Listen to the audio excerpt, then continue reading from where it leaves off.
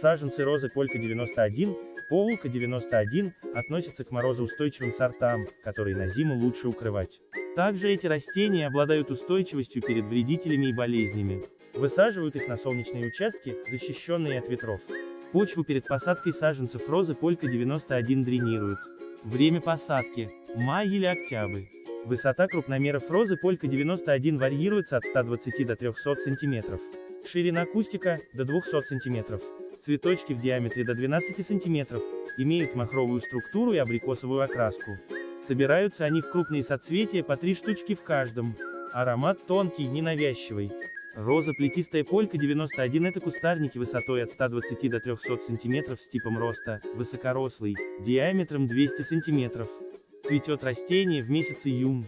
Аромат у цветов слабый. Второй раз в году роза цветет в месяц июль-август. Окраска цветка абрикосовый. Размер цветка этого прекрасного растения достигает от 10 до 12 см. Летом листва темно-зеленая. В качестве места выращивания прекрасно подходит открытый грунт. Розу плетистую Полька 91 создал Мейланд. Годом создания растения считается 1992.